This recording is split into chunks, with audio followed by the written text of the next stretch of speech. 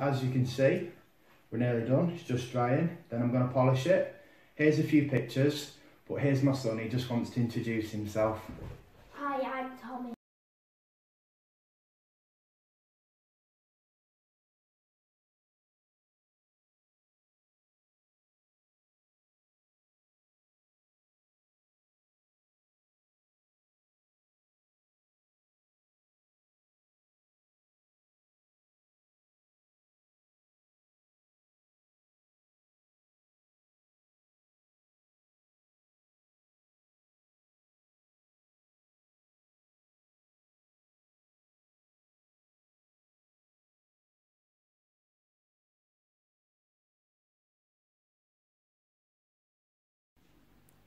Right then folks, this is the finished product I think.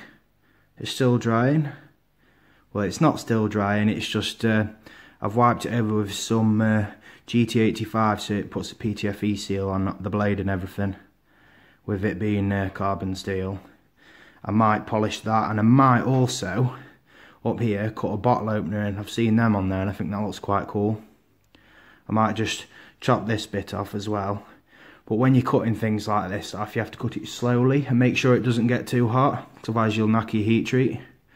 So I'll show it you.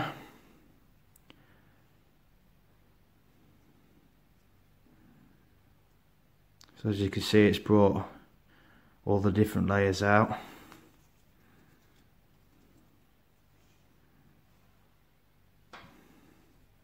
I wanted it nice and square and a bit like a puukko shape you know, so I can actually use it for a bit of woodwork, bushcraft and stuff like that when I go camping.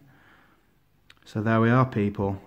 Thank you for your time and I hope you like it. This is just a rough a rough way of uh, modifying it using simple tools as I've mentioned previously. It's only really the Dremel that's slightly um, power tool.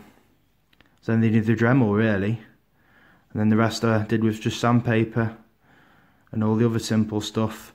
Oh just the finishes um, I stained it once with some Sadolin and uh, after that I've just put two layers of lacquer on it and then some PTFE GT85 on it just to seal it all so it doesn't rust.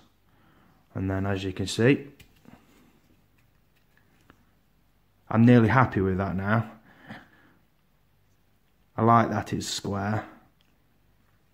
And I'm looking forward to definitely putting the bottle opener on here as well. But I don't know whether to video that unless people are interested. And I might just chop this this off as well. Or I might not. I'll have some thought on it before we finish finish. And I might even try this with the bigger version as well. Which I have ground down to 3 inches. Well, 2.9 I think it was. Thanks for your time, guys, and see you later.